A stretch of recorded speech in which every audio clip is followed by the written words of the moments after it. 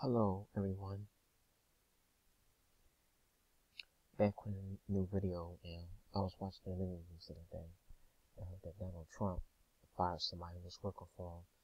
Supposedly some guy was supposed to be in the CIA, FBI or whatever. And he didn't information getting out of some crap, so we're gonna look at something and see how this plays out. So hold on one second. This is CNN Breaking News. All right, we have uh, major breaking news. We're interrupting that report. Uh, Jeff Zeleny, our White House senior White House correspondent, is joining us uh, on the future of the FBI director. What are you learning? A major development here this evening at the White House. The President of the United States has terminated the director of the FBI, James Comey. I talked to White House Press Secretary Sean Spicer a few moments ago. He has just released this statement. Wolf, let me read it along with you here. It says, Today, President Donald J. Trump informed FBI Director James Comey that he has been terminated and removed from office. President Trump acted based on the clear recommendations of both Deputy Attorney General uh, Rod Rosenstein and Attorney General Jeff Sessions. Quote, the FBI is one of our nation's most cherished and respected institutions. Today will mark a new beginning for a crown jewel of law enforcement. A search. Well, that's pretty funny. I wonder what Trump is hiding this close. But anyway, let's continue.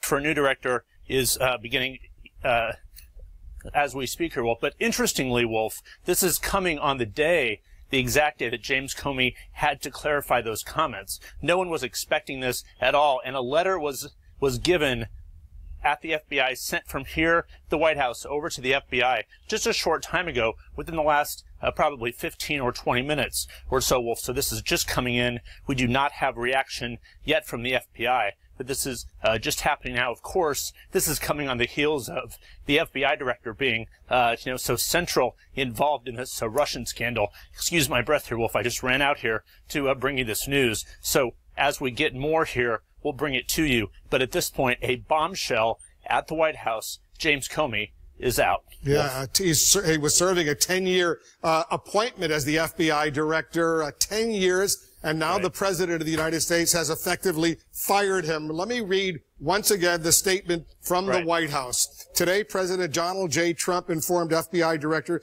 James Comey that he has been terminated and removed from office. President Trump acted based on the clear recommendation of both Deputy Attorney General Rod Rosenstein and Attorney General Jeff Sessions. The White House statement adds, the FBI is one of our nation's most cherished and respected institutions, and today will mark a new beginning for our crown jewel of law enforcement. That's a quote. That's a quote directly in the statement from the president, President Trump. A search for a new permanent FBI director will begin immediately. Pamela Brown's our justice cor- correspondent. Uh, this is obviously major, uh, a major development, uh, and certainly comes, I, I, think it's fair to say, as a surprise. It,